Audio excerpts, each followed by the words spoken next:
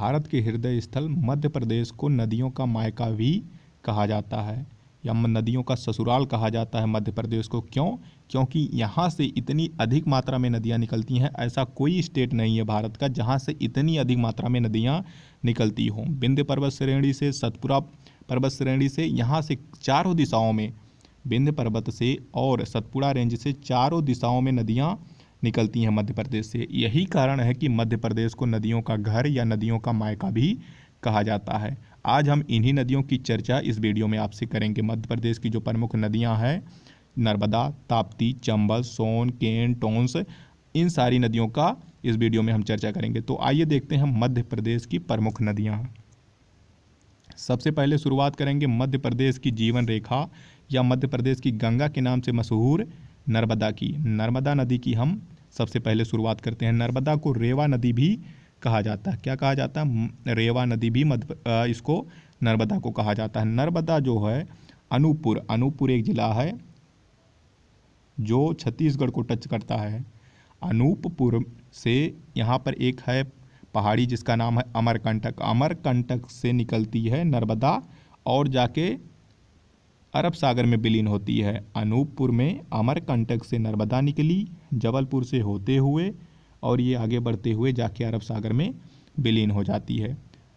और ये जो अमरकंटक है ये ये सतपुड़ा रेंज की, सतपुड़ा रेंज की, ये सतपुड़ा रेंज है, सतपुड़ा रेंज की मैकाल श्रेणी में स्थित है। मैकाल श्रेणी पर अमरकंटक स्थित है। अमरकंटक से नर्मदा की उत्पत्ति होती है। नर्मदा जो है मध्य प्रदेश के कई जिलों से बहते हुए अरब सागर में खंभात की खाड़ी में जाके गिरती है।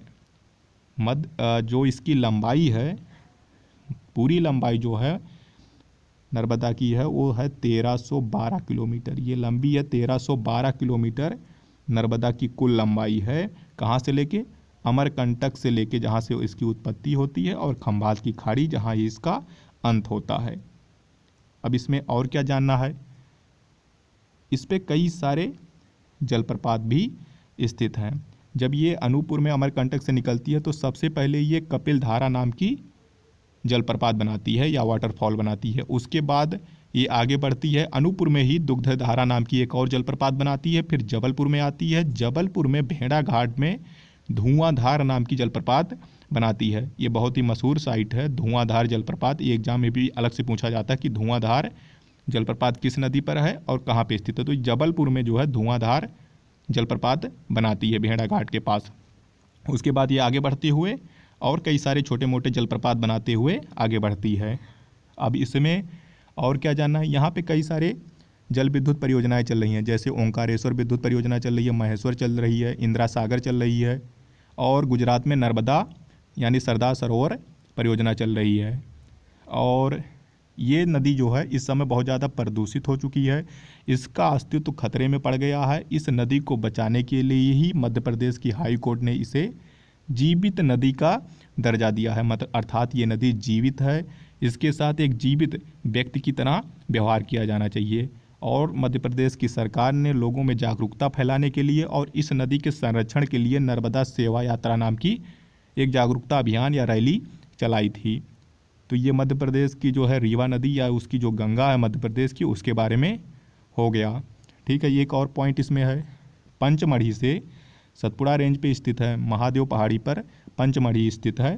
पंचमढ़ी से निकलती है तवा नदी। तवा नदी जो है, वो किसकी सहायक नदी है? नर्मदा की सहायक नदी है। ठीक है, अब ये नर्मदा के बारे में हो गया। नर्मदा के बाद हम दूसरी जो प्रमुख नदी है, वो पढ़ेंगे ताप्ती नदी। ताप्ती को तापी नदी भी कहते हैं। ये बैतूल ज़िला। बैतूल ज़िला में मुल्ताई पर्वत है।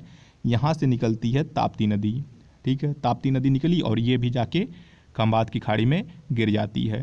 ताप्ती नदी भी खम्भात की ही खाड़ी में गिरती है और बैतूल के मुल्ताई से या मुल्ताई से निकलती है। इसकी लंबाई 724 किलोमीटर है। ताप्ती नदी की लंबाई 724 किलोमीटर है। अब इसमें दो चीज़ें अब देख लेते हैं जो ताप्ती नदी है और ये जो नर्मदा नदी है, इन दोनों के बारे में और भी फैक्ट हैं। पहली चीज़, ये दोनों जो प्रमुख नदियाँ हैं, जो अरब सागर में गिरती हैं, मध्य प्रदेश की या फिर और जो भारत की नदियाँ हैं, वो जाके पूरब की तरफ़ बहती हैं और बंगाल की खाड़ी में गिरती हैं। लेकिन ये नदियाँ जो हैं, मुख्य रूप से यही नदियाँ हैं जो अरब सागर में गिरती हैं और पश्चिम की तरफ़ बहती हैं।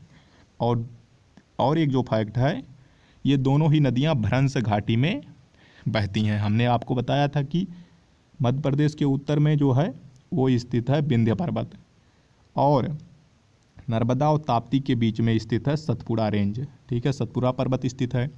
तो सतपुड़ा और बिंद के पर्वत में बहती है नर्मदा और भरंश से होके बहती है। दोनों के बीच, दोनों पर्वत हैं, उनके बीच का जो भरंश है, उससे जो नाली की तरह बन जाता है दो पहाड़ों के बीच में, उससे बहती हैं नर्मदा और सतपुड़ा के दक्षिण से बहती है भरंश में बहती है ताप्ती नदी। तो ये भी फैक्ट हो गया। और एक फैक्ट है कि ये दोनों नदियाँ जो है, डेल्टा नहीं बनाती हैं। पश्चिम की तरफ़ जो भी नदियाँ बहती हैं भारत में, वो डेल्टा नहीं बनाती हैं, बल्कि एस्चुरी बनाती हैं। डेल्टा क्या होता है? जब नदियाँ बहती हुई जाती हैं और जब नदी मुहाने पे आती हैं तो अपना जो गाद होता है, जो निक्षेपण लेके आती हैं, उसे ला के जमा कर देती हैं। उससे जो है, अंग्रेज़ी के डेल्टा शब्द का आकृति का निक्षेपण होता है या आकृति की भू आकृति बन जाती है, जिसे डेल्टा कहते हैं। लेकिन जो पश्चिम की तरफ़ नदियाँ बहती हैं, वो डेल्टा नहीं बनाती हैं, क्योंकि यहाँ पे ढाल बहुत तीव्र होता है, इसलिए निक्षेपण की क्रिया नहीं हो पाती है। तो ये फैक्ट हो गया। अब हमने जो है नर्मदा और ताप्ती को पढ़ लिया। अब जो तीसरी महत्वपूर्ण नदी है, वो है चंबल नदी। चंबल नदी जो है इंदौर से निकलती है। इंदौर जो है, इंदौर से निकलती है चंबल नदी और ये यमुना की सहायक नदी है। चंबल नदी इंदौर में एक जगह है महो। महू में जनापाव नाम की एक पहाड़ी है, वहाँ से निकलती है इंदौर। अगर हम इसे बनाएँ, ये हो गया यमुना नदी, गंग, जो है उत्तराखंड में यमुनोत्री हिमनद से निकलती है, यानी बंदरपूछ से निकलती है, और आके इलाहाबाद में गंगा से मिल जाती है। मान लिया ये गंगा हो गया और ये इलाहाबाद में दोनों का संगम हो गया, ठीक है? और दोनों ही नदियाँ जाके फिर बंगाल की खाड़ी में गिर जाती हैं। तो चंबल नदी जो है वो यमुना की सहायक नदी है। जनापाव पहाड़ी महो इंदौर से निकली और ये इटावा के पास, इटावा यूपी में स्थित है, वहाँ पे ये जाके मिल जाती है यमुना नदी से। चंबल को और इसके बारे में जान लेते हैं, चंबल के बारे में। चंबल को जो है, क्या कहा जाता है? चरमोती भी कहा जाता है। जो प्राचीन ग्रंथ हैं, उनमें इसे चरमोती भी कहा जाता है। इसकी लंबाई जो है एक हज़ार चालीस किलोमीटर है और इस पर कई सारे जल विद्युत परियोजनाएँ भी स्थापित किए गए हैं। चंबल नदी घाटी में कई परियोजनाएँ चल रही हैं, जैसे जवाहर सागर परियोजना, गांधी सागर परियोजना, राणा सागर परियोजना, जिनमें गांधी सागर परियोजना ही मध्य प्रदेश में स्थित है और जवाहर सागर और राणा सागर, ये कहाँ पर स्थित है? राजस्थान में स्थित है। तो ये हो गया। और जो चंबल नदी की सबसे बड़ी विशेषता है कि ये अवनालिका अपर्दन करती है। चंबल घाटी में ये अवनालिका अपर्दन करती है, जिससे बीहड़ों का निर्माण होता है और भूमि जो होती है उबड़ खाबड़ हो जाती है। तो ये सारी चीज़ें हो गई। चंबल की कुछ सहायक नदियाँ होती हैं, जैसे देवास से निकलती है काली सिंध नदी। देवास से काली सिंध नदी निकलती है, जो चंबल की सहायक नदी है। इसी प्रकार जो है सीहोर से निकलती है पार्वती नदी। सीहोर से निकलती है पार्वती नदी। वो भी चंबल की सहायक नदी है। इसी प्रकार सिंध भी सिंध नदी है एक। वो भी चंबल की सहायक नदी है। और चंबल की एक और महत्वपूर्ण सहायक नदी है, वो है बेतवा नदी। बेतवा नदी जो है, इसे शास्त्रों में जो है बेत्रवदी, बेत्रवती नदी भी कहते हैं। ये कुमरा ग्राम कुमरा ग्राम रायसेन जिला है, रायसेन। ये है रायसेन। रायसेन में कुमरा ग्राम की जगह है, वहाँ से निकलती है बेत्रवती या बेतवा नदी। ये यूपी में हमीरपुर के पास किससे मिल जाती है? चंबल नदी से मिल जाती है। ठीक है? और फिर इसी से एक कटनी से जो है, कटनी से केन नदी निकलती है और ये जाके यमुना से मिल जाती है। और एक और नदी है, हमने कहा था कि अनूपपुर में अमरकंटक स्थित है।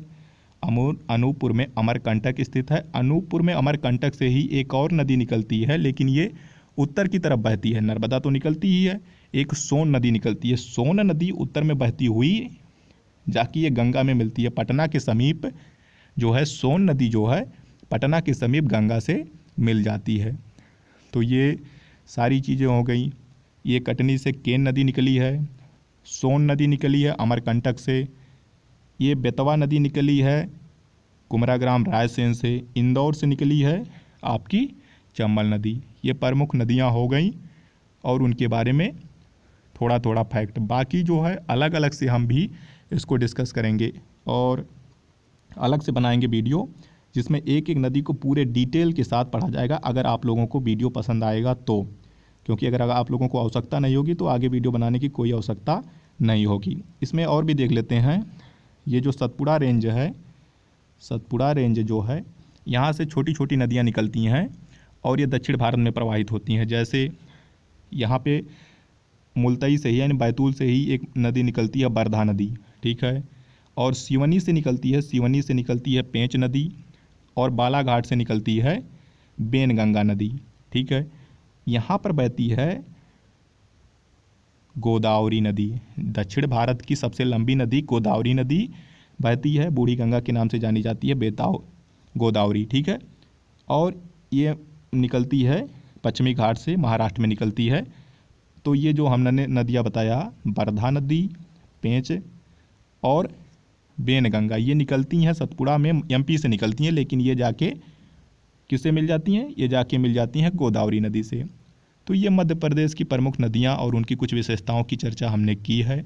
अगर आप लोगों को वीडियो पसंद आ रहा हो तो कृपया लाइक ज़रूर करें। और अगर किसी तरह की कोई कन्फ्यूज़न हो या हमसे कोई गलती हो गई हो तो वो उसे हमें कमेंट के माध्यम से ज़रूर बताइए। Thank you so for watching our video please subscribe our channel